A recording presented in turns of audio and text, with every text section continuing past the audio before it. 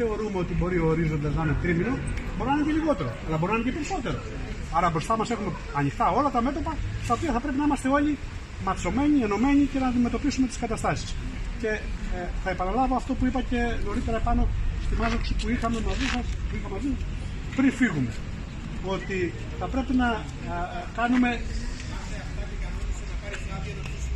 θα πρέπει να κάνουμε αισθητή θα πρέπει, θα πρέπει να κάνουμε αισθητή την παρουσία μας αισθητή την παρουσία μας σε όλους τους τομείς αισθητότατη δεν αρκεί δηλαδή να μαζευόμαστε κάτω από το δέντρο και να λέμε πέντε πράγματα θα πρέπει αυτή η μάζοξη ας αλλάξει και χώρο. Δεν είναι απαραίτητο να γίνεται στο δέντρο, μπορεί να γίνει και σε σκιά. Έξω από το γραφείο του διοικητή δεν έχουμε να κρύψουμε τίποτα.